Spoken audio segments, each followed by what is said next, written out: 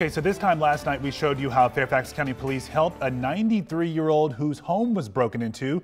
Officers, you can see right there, cleaned up broken glass and installed plywood over the window. Well, all new tonight, we now know that her home was one of several broken into, mm. and the suspect in that string of crimes is in custody. Katie Lesso is here, and Katie, you've learned this suspect was recently released from jail on some different charges. Yes, court records show he was released on bond on December 6th. Well, tonight he is now back behind bars, accused of stealing a car, breaking into four homes, and trying to break into a business one of the victims, as you mentioned, is a 93-year-old woman, and tonight the community has truly stepped up to help her.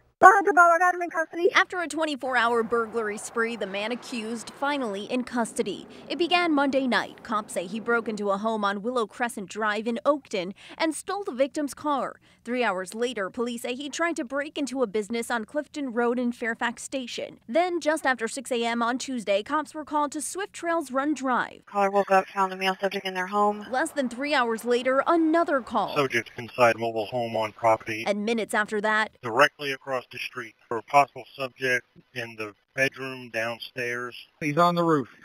10-4, subject on the roof. He just went back in the house, second floor. At 9.27 a.m., police say Angel Argueta Galeas was arrested and the damage assessed. Window at the back is broken. Fairfax County police say when the officers learned the last victim was a 93-year-old woman, they stepped up to help using supplies that were donated by Lowe's to cover up her broken window. Our officers were there. They were in the right place at the right time. We were able to really help somebody and just see the human side and see a community come together. On top of that, Circle Glass and Mirror in Fairfax saw the news and offered to donate a replacement window. I was talking to the officer. He said she didn't have any family in the area or anything. And we were going to do it before we know that but um, that makes it even more that we you know, we want to do it even more because we want we want to help. Because after all, it is the season of giving. Certainly, when you have a community that's stepping up to help one another, it's very encouraging.